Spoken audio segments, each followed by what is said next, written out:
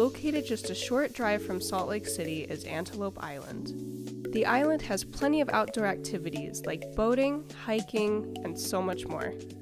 We recommend going when the weather is less extreme. You'll be able to see more of the wildlife and enjoy the outdoor activities for a little longer.